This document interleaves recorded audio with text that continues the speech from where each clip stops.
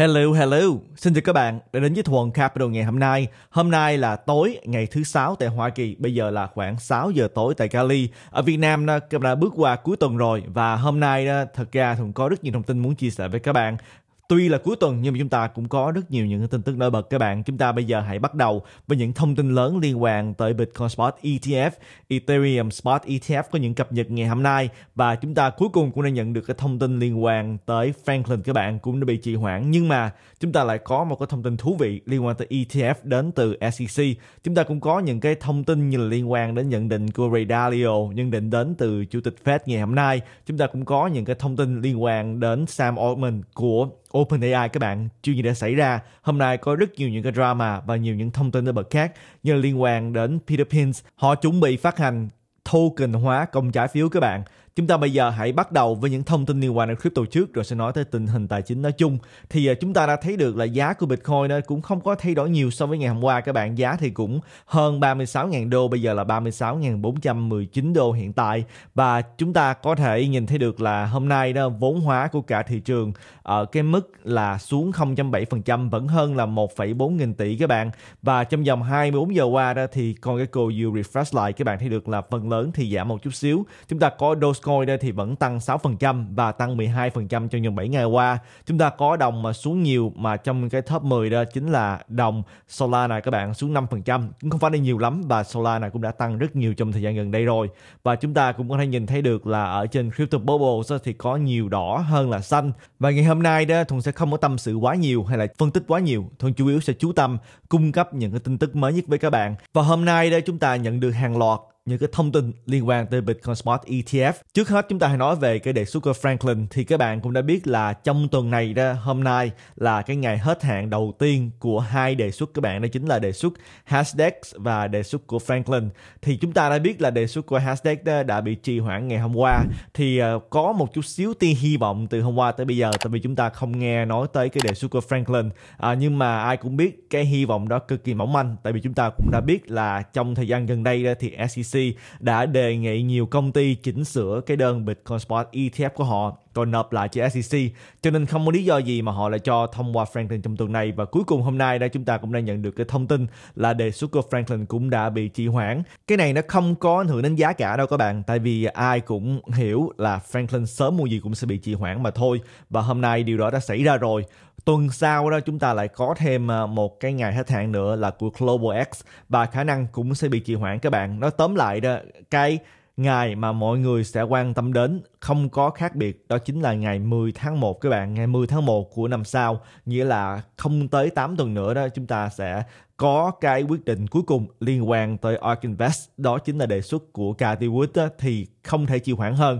Cho nên tất cả mọi người đó đều chỉ chú tâm tới ngày 10 tháng 1 mà thôi, những cái ngày hết hạn còn lại đó, thật ra cũng không quan trọng lắm đâu các bạn, tại vì ai cũng hiểu là khả năng sẽ bị trì hoãn hoặc là phần lớn sẽ được thông qua bất cứ lúc nào từ đây cho đến ngày 10 tháng 1 thì chúng ta hãy à, trở lại để mà nói thêm về một số những cái thông tin khác liên quan tới Bitcoin Spot ETF các bạn. Có một cái thông tin được chia sẻ ngày hôm nay bởi Bloomberg được chia sẻ bởi Eric Balchunas à, thì chúng ta đã thấy được là có một cái tin đồn cái này à, vẫn chưa xác thực nhưng mà dựa theo thông tin nội bộ à, thì Bloomberg nói là có thông tin là SEC đang khuyến nghị các công ty thực hiện việc tạo lập bằng tiền mặt thay vì Bitcoin và đã yêu cầu họ nộp văn bản sửa đổi trong vài tuần tới. Đây vẫn là một dấu hiệu tốt. Điều này nghĩa là gì các bạn? Tạo lập bằng tiền mặt là gì? Thì cái thông tin này đó là liên quan tới market maker các bạn nhà tạo lập thị trường.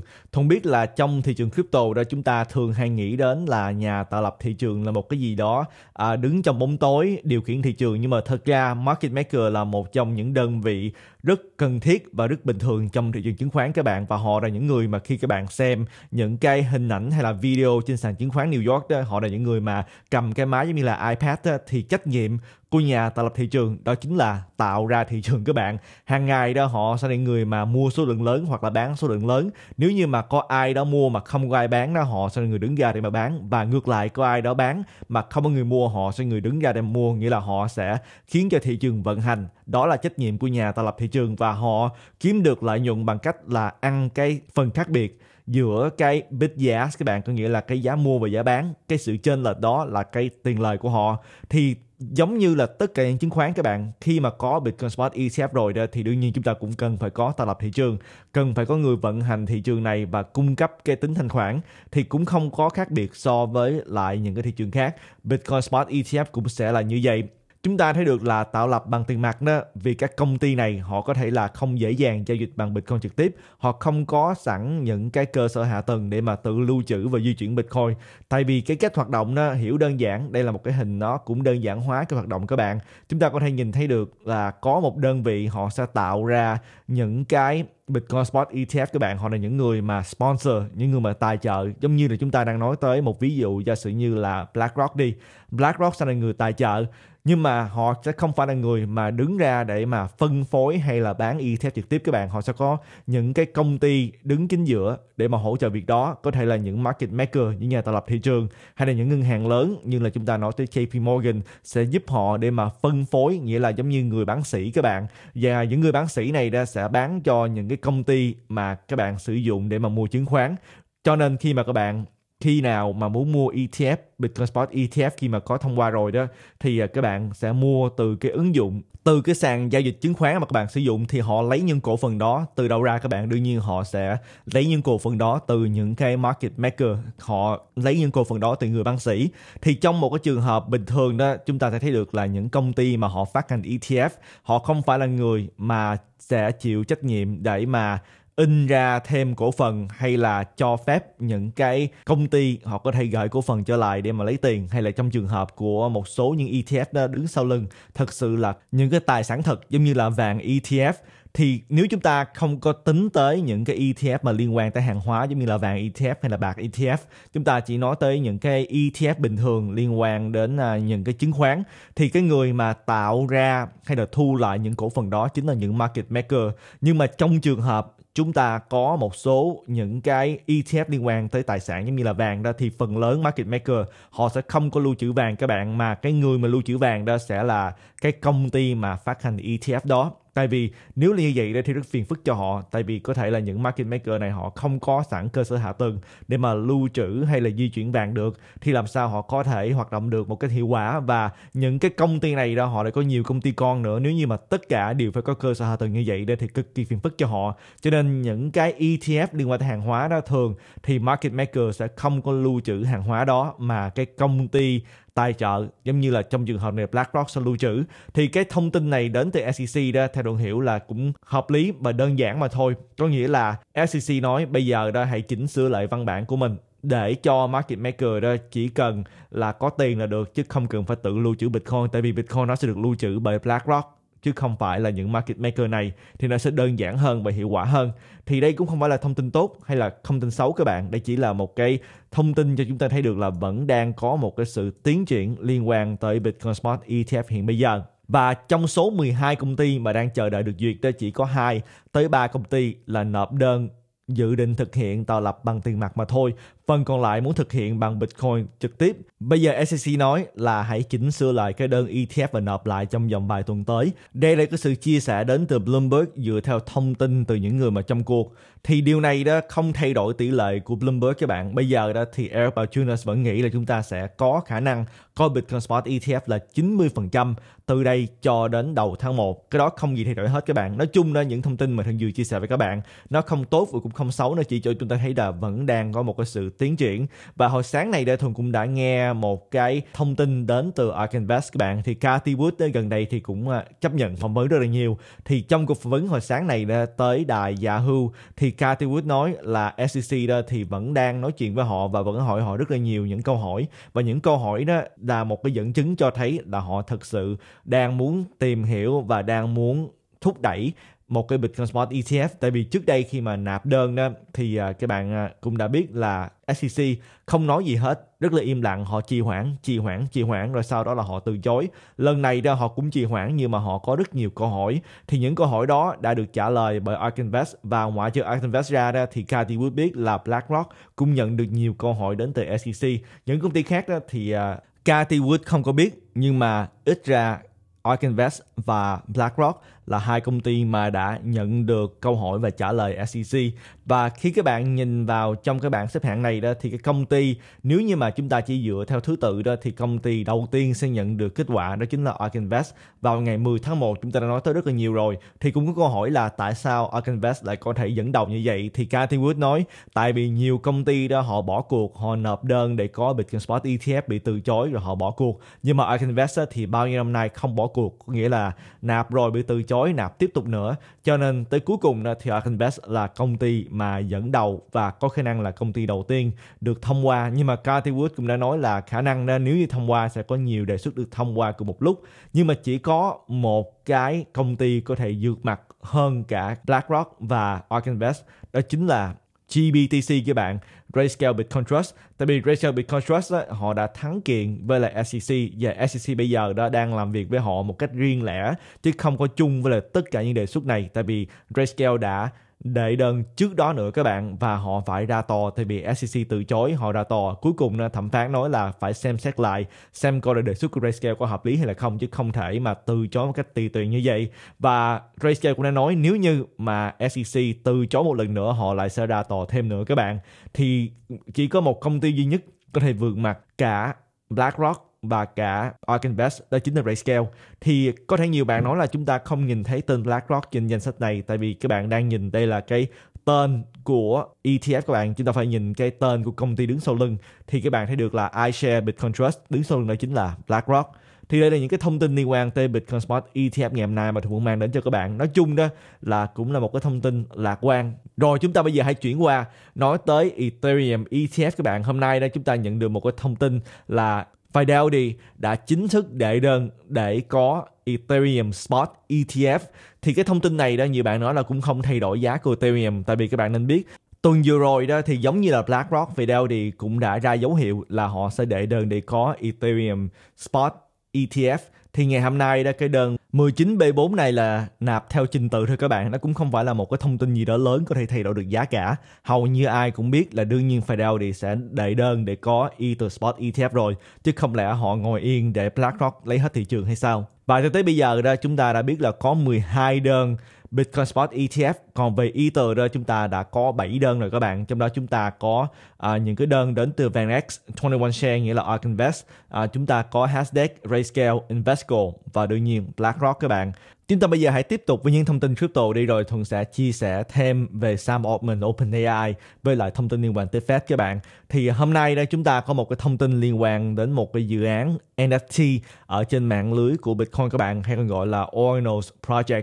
Thì đây là cái dự án à, có tên là Taproot Wizards. Thì à, các bạn thấy được trên màn hình đây là hai người mà dẫn đầu dự án thì à, chúng ta đã thấy được là dự án Taproot Wizards là một trong những dự án tiên phong trong xu hướng Bitcoin Ordinals đã thành công huy động vốn được 7 triệu rưỡi. Chi tiết hơn đó, nhiều quỹ lớn trong lĩnh vực crypto như là Standard Crypto, Geometry, Collider Ventures, Starkware, UTXO Management, Bitcoin Frontier Fund, Masterkey và Newman Capital.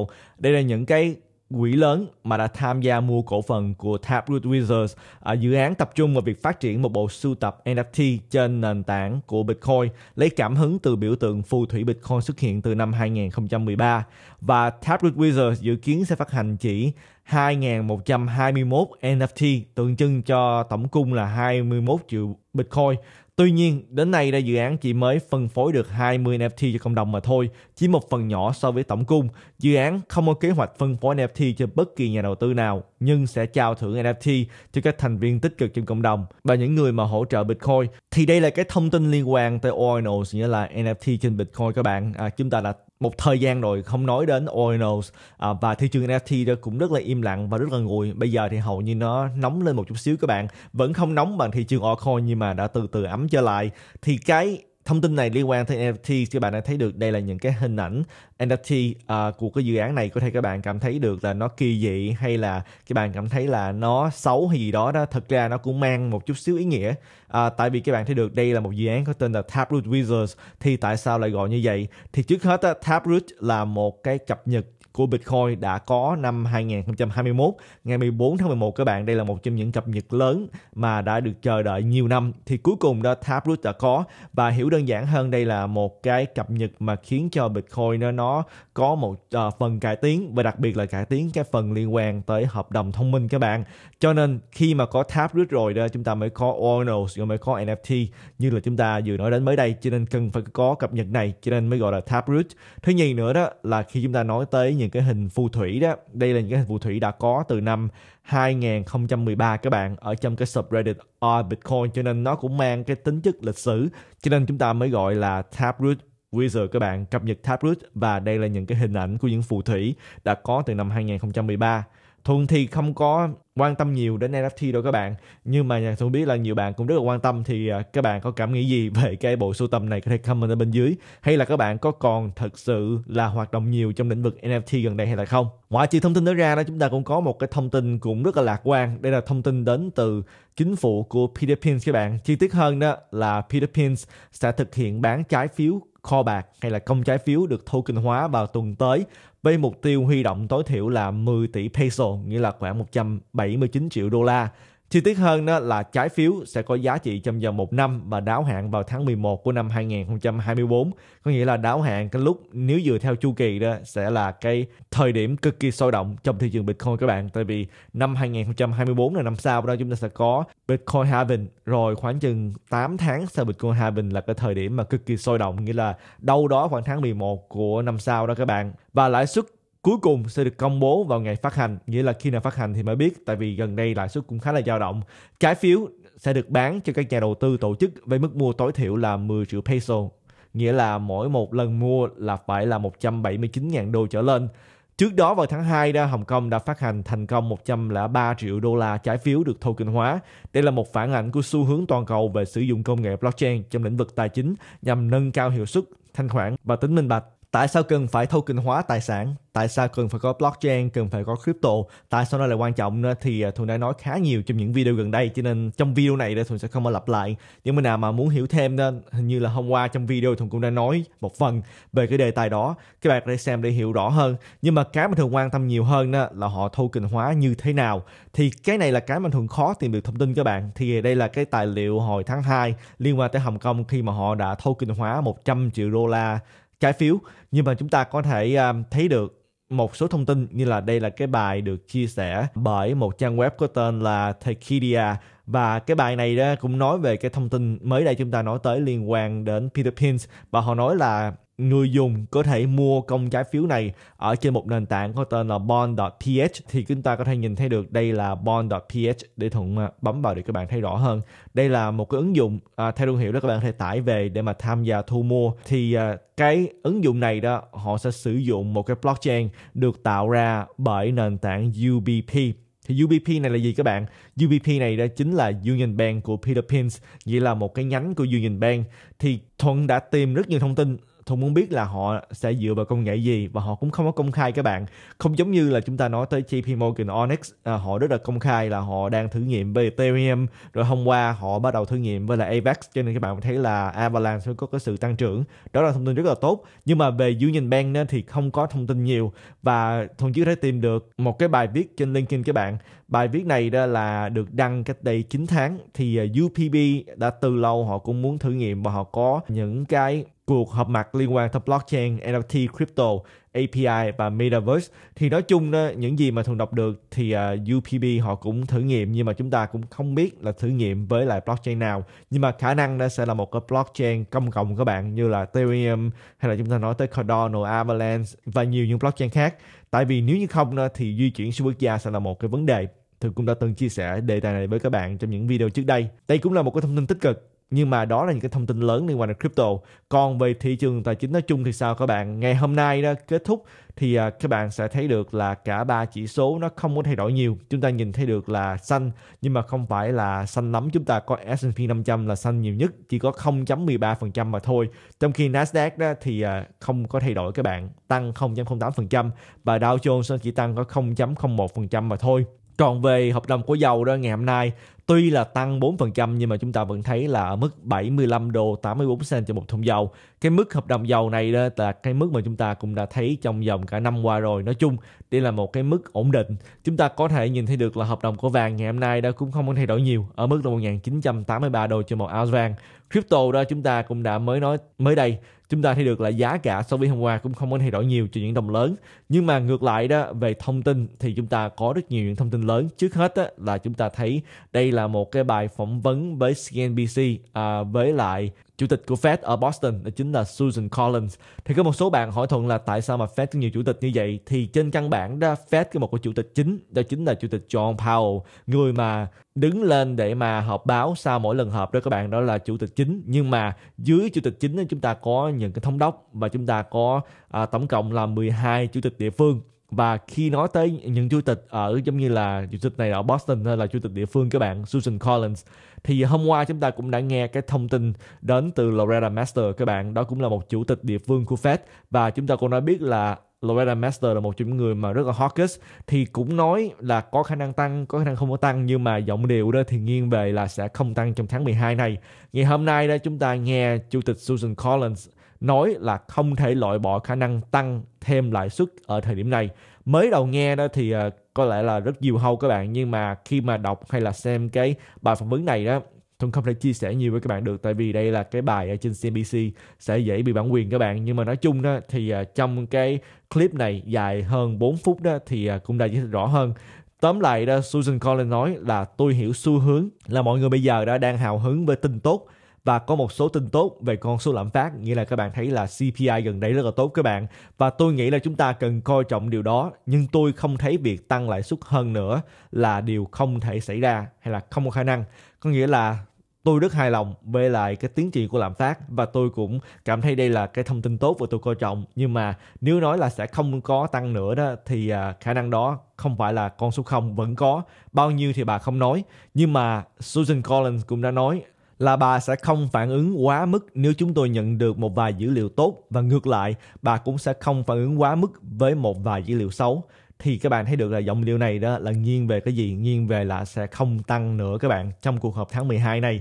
Tại vì chúng ta cũng đã nhận được CPI của tháng này rất tốt tháng rồi cũng rất là tốt. Thì nếu như mà nói như bà đó, thì cho dù là chúng ta có thêm một cái thông tin xấu nữa bà sẽ không có phản ảnh một cách ờ, quá tiêu cực. Bà cần dữ liệu một thời gian dài để có thể thấy rõ xu hướng. Thì sau khi mà có thông tin này ra, các bạn đã thấy được là ở trên CME đó, để thường refresh lại để các bạn xem thông tin hiện bây giờ đã sao. Nhưng mà lúc mà thường xem mới đây đó, bây giờ cũng như vậy các bạn 100%. thường không nhớ là CME lần cuối cùng có chỉ số một trăm phần trăm nghiêng về hướng nào là hồi nào nữa các bạn nhưng mà ngay bây giờ đó thì 100% là nghiêng về sẽ không tăng lãi suất các bạn. 100% luôn. Và chúng ta đã biết là ngày mà sẽ có lãi suất kế tiếp đó sẽ là vào giữa tháng 12 chúng ta còn 25 ngày nữa. Chúng ta cũng có một cái bài phỏng vấn trên CNBC nhưng mà lần này là với Ray Dalio của Bridgewater Associates các bạn. À, và đương nhiên đây là một trong những người mà rất là giỏi về kinh tế vĩ mô. Thì um, trong cái phần mà được chia sẻ đó thì à, um, Ray Dalio nói về việc là hiện bây giờ đó Hoa Kỳ đang có rất là nhiều nợ công và có nhiều nợ công có nghĩa là cần phải trả nhiều lãi suất hàng năm. Và nếu như mà nói tới năm 2023 đó, thì à, khả năng là cái lãi suất đó là phải ở mức là 659 tỷ các bạn, mà nhiều ước tính còn cao hơn nữa. Tại vì từ đây đến cuối năm đó, các bạn đã biết là Bộ Tài chính muốn tiếp tục vay mượn thêm nữa như là bán thêm công trái phiếu, thì cái lãi suất sẽ rất là cao. Và nếu chúng ta nói tới con số 659 tỷ này đó là cũng gần bằng với lại chi tiêu quốc phòng. Con số cực kỳ lớn các bạn và càng vay mượn đó thì cái số nợ phải trả càng cao. Và dựa theo Redalio đó thì à, chúng ta đã thấy được là từ khi mà có dịch bệnh á, năm 2020 thì cái nợ công của Hoa Kỳ đã tăng lên là 45% các bạn. Đã tăng lên 400% chỉ trong vòng có 3 năm mà thôi. Và cái nợ công Hoa Kỳ đã mức là 33.7 nghìn tỷ đô la. Và khi mà những cái công trái phiếu này hết hạn đó thì ờ, sẽ được thay thế bởi những công trái phiếu mới. Và đây cũng là một trong những yếu tố chúng ta cần phải nghĩ đến khi mà chúng ta thấy ờ, Fed nói là chỉ quan tâm đến lạm phát lạm phát không quan tâm đến thị trường chứng khoán hay gì hết thì ờ, đó là điều Fed nói các bạn, nhưng mà sự thật ra sao đó, chúng ta đều hiểu có rất nhiều áp lực áp lực đến từ bộ tài chính. Tại vì sao các bạn? Tại vì khi mà cứ vay mượn như vậy đó, chúng ta thấy được là sẽ có những công trái phiếu mới, thay thế những công trái phiếu cũ. Những công trái phiếu cũ cách đây vài năm các bạn nghĩ lãi suất là bao nhiêu? Những công trái phiếu mới bây giờ lãi suất là 5 chấm mấy? Thì có nghĩa là gì các bạn? Những cái nợ mới này sẽ có lãi suất cao. Tại vì sao các bạn? Tại vì Fed tăng lãi suất. Cho nên Fed có thể cứng rắn tới bao nhiêu? Thì đó là chuyện mà chúng ta sẽ nghe nói tới từ những cái quan chức của Fed. Nhưng mà Fed có thực sự cứng rắn gì không thì chưa chắc đâu các bạn, tại vì có rất nhiều áp lực. Áp lực từ bộ tài chính liên quan tới lãi suất chúng ta mới vừa nói đến. Áp lực đến từ năm sau sẽ là một năm mà có bầu cử tổng thống các bạn. Và thường có thể nói với các bạn là nếu như là một người tổng thống đương nhiệm bây giờ đó, thì sẽ không muốn bất cứ khả năng nào, cho dù nhỏ bao nhiêu đi nữa đó, mà có suy thoái tài chính. Tại vì nếu như mà có suy thoái tài chính, thì cực kỳ bất lợi với lại tổng thống đương nhiệm. Cho nên áp lực cũng sẽ tới từ Nhà Trắng các bạn. Và áp lực đến từ rất là nhiều nơi, hầu như ai cũng kêu gọi Fed đừng tăng lãi suất nữa và hãy nghĩ đến chuyện giảm lãi suất. Tại vì có rất nhiều những ngân hàng bây giờ đó, họ đang đứng trên đống lửa các bạn tại vì họ đang lưu trữ rất nhiều công trái phiếu. Và nếu như mà mọi thứ không có gì thay đổi đó họ có thể là tiếp tục cầm cự. Nhưng mà chỉ cần một cái gì đó thay đổi mà thôi khiến cho nhiều người đến để mà rút tiền thì ngân hàng sẽ gặp vấn đề ngay lập tức. Tại vì khi mà họ cần phải bán gấp công trái phiếu đó, đó thì sẽ bị lỗ tại vì lãi suất đã có mức cao so với cái lúc mà họ thu mua công trái phiếu trước đây. Một điều nữa Thu muốn chia sẻ với các bạn đó là có rất nhiều người nói Bitcoin là lừa đảo, Bitcoin là một cái hệ thống kim tự tháp Ponzi scheme à, và một trong những đặc điểm của những hệ thống đó là gì các bạn? Đó chính là người mới vào sẽ là tiền để mà trả cho những người cũ và cứ như vậy cho nên chúng ta luôn phải có người mới tham gia vào. Thì các bạn nghĩ là công trái phiếu phát hành bởi Bộ Tài chính là gì các bạn? Nợ mới dùng để trả nợ cũ và nợ mới nữa dùng để trả cái nợ đó và cứ tiếp tục nợ mới nợ mới nữa và có những cái quỹ hưu trí đến từ quốc gia các bạn giống như là Hoa Kỳ để chúng ta có Social Security đây là quỹ hưu trí mà các bạn đi làm đó rồi các bạn à, để một phần thuế vào trong đó. Cái này là bắt buộc các bạn. Rồi khi mà các bạn tới già rồi đó tới tuổi thì các bạn có thể nhận lại được một phần của tiền của mình. Nhưng mà trên căn bản đó cái số tiền trong đó không có đủ thì à, chúng ta thấy được là những người đi làm bây giờ giống như là thuận và nhiều bạn đó thì à, các bạn làm cho bạn để tiền vào trong cái quỹ hưu trí này nhưng mà cái tiền mà các bạn để vào đó không phải là cái tiền sau này các bạn có thể dùng để mà về già được, mà cái tiền đó dùng để mà trả cho những người mà đang về hưu hiện tại. Và sau này đó, con của thuận đi làm, thì cái tiền mà con của thuận đóng vô cái quỹ này sẽ trả cho thuận các bạn. Và cứ như vậy thì các bạn nghĩ nó giống cái gì? Thì tại sao lại như vậy các bạn? Tại vì khi mà có cái quỹ hưu trí này đó, hồi xưa là người ta chỉ sống tới khoảng chừng 65 tuổi là coi như là lớn tuổi rồi các bạn 65 70 tuổi. Bây giờ đây người ta sống lâu hơn, tới cả trăm tuổi. Cho nên tiền trong đây đó không có đủ trên căn bản để mà trả cho tất cả những người mà đang về hưu hiện tại. Cho nên họ cần những người mới tiếp tục hoạt động, tiếp tục đóng thuế. Và cứ như vậy, cái quỹ này sẽ mãi mãi không có đủ các bạn. Thì các bạn nghĩ đi, người mới nạp tiền vào để trả cho người cũ thì giống cái gì? Nợ mới bán dùng để trả nợ cũ thì giống cái gì? Cho nên có rất nhiều người lớn tiếng kêu gọi bitcoin là một cái mô hình kim tự tháp, một cái ponzi scheme. Thật ra nhiều thứ trên thế giới này nó cũng là như vậy đó các bạn. Chúng ta cũng có một cái à, thông tin đáng tiếc là amazon hôm nay đó họ đã ra thông báo là họ sẽ cắt giảm vài trăm, không nói rõ là bao nhiêu, nhưng mà vài trăm việc làm trong bộ phận alexa. Động thái này là một trong à, những cái nỗ lực lớn của công ty nhằm quản lý chi phí trong thời kỳ kinh tế khó khăn. Bắt đầu từ năm ngoái đó, thì các bạn đã nhớ là Amazon đã bắt đầu cắt giảm 27.000 việc làm. Bộ phận Alexa là công nghệ trợ lý dùng âm thanh như là Apple Siri, có nghĩa là các bạn có thể nói là, Hey Alexa, rồi các bạn có thể nói, Alexa làm gì đó, giống như là mở đèn lên hay là order đồ từ Amazon. Thì đây là một cái đơn vị mà phát triển rất là nhiều trong vòng vài năm qua các bạn. Nhưng mà bây giờ Amazon cũng bắt đầu cắt giảm nhiều chi tiêu thì 27.000 việc làm này đó, nghe có vẻ rất là nhiều và nó thật sự rất nhiều các bạn, tại vì nó đại diện cho 27.000 người. Và nhưng mà các bạn nhìn vào tổng số nhân viên của Amazon vào năm ngoái đó là 1 triệu 541 ngàn nhân viên. Thì con số 27.000 này là một phần nhỏ của công ty Amazon mà thôi. Nhưng mà nghĩ lại đó, đây là 27.000 người mà sẽ phải đi kiếm việc làm mới các bạn và không phải ai cũng có thể kiếm được việc làm mới nhanh chóng. Và những người mà kiếm được việc làm mới đó cũng chưa chắc là họ có thể kiếm được việc làm mà lương bằng với lại lương họ đang có ở Amazon. Cho nên đây là những cái thông tin mà tôi nghĩ là Fed sẽ cần phải suy nghĩ đến. Những gì mà họ làm với lãi suất đó, bây giờ thực sự đã thấm vào trong thị trường rồi và ngày càng rõ ràng hơn. Bây giờ thì chuyển qua để mà chia sẻ một số những cái drama ngày hôm nay các bạn. Thì à, chúng ta có một cái thông tin cực kỳ bất ngờ. Đó chính là Sam Altman, các bạn. Sam Altman chính là người đứng đầu của OpenAI nghĩa là ChatGPT đó, thì à, người này đã bị sa thải khỏi công ty rồi các bạn chi tiết hơn đó là người này đã không còn là CEO nữa một cách cực kỳ bất ngờ và hội đồng quản trị của OpenAI đã tuyên bố là chúng tôi không còn tin tưởng vào khả năng Sam Altman để tiếp tục lãnh đạo OpenAI. Chúng tôi đã tiến hành quá trình xem xét cẩn thận và kết luận là Sam không trung thực với hội đồng quản trị, cản trở khả năng thực hiện trách nhiệm của hội đồng. Điều này có nghĩa là Sam Altman bị sa thải các bạn chứ không phải là tự nhiên từ chức và nó rất là bất ngờ như thường nói tới cho nên thông tin này đang được lan tỏa khắp nơi.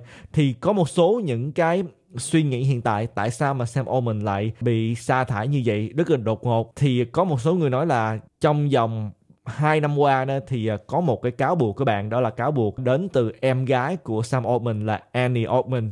Thì Annie Altman đã chia sẻ rất nhiều những cái sự cáo buộc liên quan tới việc là bị xâm phạm tình dục à, lạm dụng tài chính, lạm dụng công nghệ và thao túng tâm lý. Thì nhiều người nói là có phải là những cái cáo buộc này đã dẫn đến là hội đồng quản trị điều tra rồi họ tìm kiếm được gì đó cho nên cuối cùng là họ sa thải Sam Altman hay là không?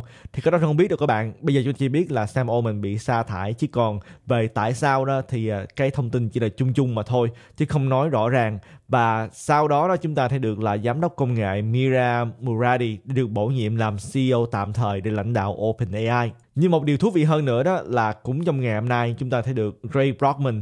Ray Brockman đó là chủ tịch của OpenAI và cũng là co-founder thì à, cũng đã từ chức ngày hôm nay. Người này thì từ chức chứ không có phải là bị sa thải các bạn. Thì nếu như mà chỉ liên quan tới vấn đề đạo đức của Sam Altman thì tại sao Ray Brockman, chủ tịch của OpenAI cũng từ chức thì có thể là có xung đột nội bộ gì đó chúng ta chỉ không biết rõ bây giờ mà tôi nghĩ là trong vòng vài ngày tới chúng ta sẽ biết rõ hơn.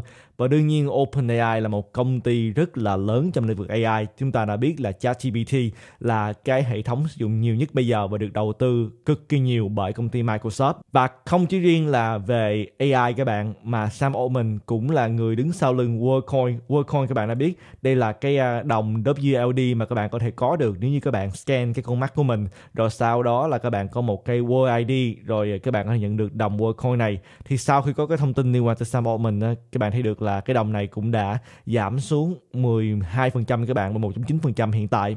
Và ai được lợi nhiều nhất? Nhiều người nói là có thể là Croc được lợi nhiều nhất các bạn. Tại vì gần đây đó Elon Musk cũng đã phát hành AI của mình và giữa Elon Musk và OpenAI cũng có một cái lịch sử à, và hai bên cũng đã có những cái từ ngữ qua lại với nhau. Thì hôm nay Elon Musk có thể rất là vui nhưng mà chưa chắc đâu các bạn. Tại vì hôm nay đây chúng ta lại có một loạt những thông tin. Hôm qua chúng ta bắt đầu nghe nói tới là có những công ty như là IBM hay là công ty Apple đó họ đã tạm dừng quảng cáo trên Twitter. Ngày hôm nay đó chúng ta lại nhận thêm được nhiều thông tin nữa các bạn. Ngoại trừ công ty Apple công ty IBM chúng ta còn có nhiều công ty giải trí lớn như là Disney Warner Bros Paramount Global, Lionsgate, tất cả những công ty này đã đều đồng loạt là ngưng quảng cáo ở trên ờ, Twitter các bạn, ở trên X. Tại sao các bạn? Tại vì tất cả là liên quan đến những cái nội dung chống Do Thái ở trên Twitter dẫn đến việc là những công ty này đó họ không có mua quảng cáo của họ xuất hiện trong những cái post đó. Thì đây là cái chuyện cũng rất là lớn các bạn, tại vì à, các bạn đã thấy được là hồi chiều nay đó thì Elon Musk cũng đã công bố với là mọi người là bất kỳ ai ủng hộ hành động diệt chủng đối với bất kỳ nhóm nào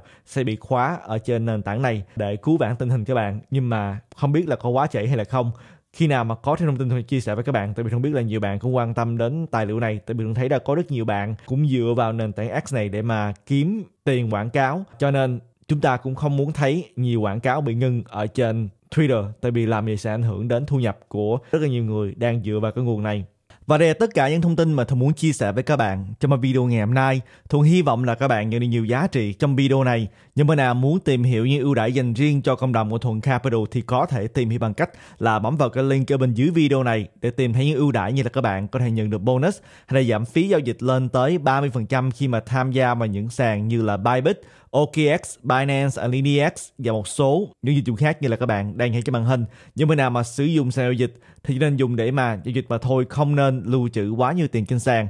Và Thuận sẽ hẹn gặp lại các bạn trong video kế tiếp. Tạm biệt các bạn.